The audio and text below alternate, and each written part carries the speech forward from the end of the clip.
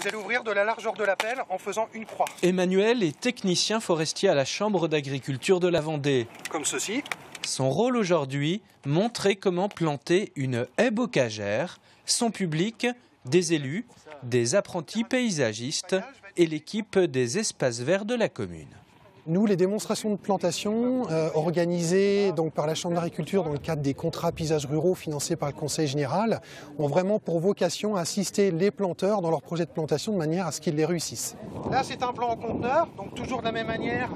Donc, vous cassez le chignon. Préparation du terrain, racines nues, paillage, protection, tout est passé en Là, il revue. faut bien tirer les racines vers le bas. hein, vous voyez, hein, elles ont été complètement comprimées. Donc, utiliser sur des faibles épaisseurs, ça peut permettre aussi d'enrichir le sol. Nous, euh, pour les plantations bocagères euh, qui concernent quand même des linéaires très importants, on utilise des paillages euh, plutôt biodégradables. Euh, donc ça peut être de la paille de céréales, ça peut être du copeau de bois, des refus de criblage de déchets verts, ça peut être également des toiles de fibres végétales, des films d'amidon de maïs.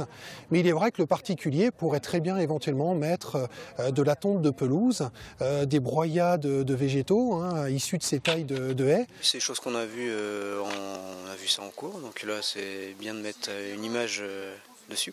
On est à proximité d'une maison de retraite qui, a été implantée euh, tout le tour. Il y a des arbres de plantés, donc c'est la continuité du, du site. Pour terminer, le tutorage, indispensable pour les plantations d'une taille conséquente.